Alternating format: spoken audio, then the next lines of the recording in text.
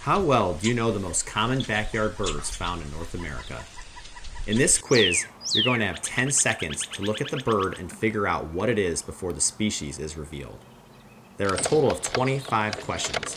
A few of the bird species appear twice, and that's just because the males and females of that type of bird look quite different. Make sure to keep track of how many questions you get right. Okay, get ready because the quiz is going to start in five, four, three, two, one.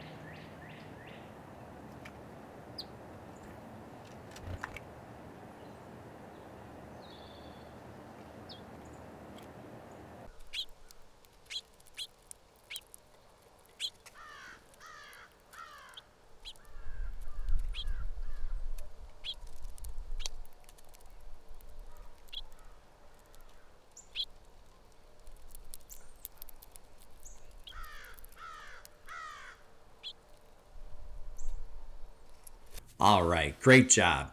You've reached the end of the quiz. I'd love to know how you did, so please leave a comment below with how many you got right, along with the hardest birds you found to identify. And if you enjoyed this quiz, make sure to subscribe to Birdwatching HQ, where you can watch live cameras of my feeding station every day. Lastly, check out the description below to see the correct answers again, along with tips to identify each species.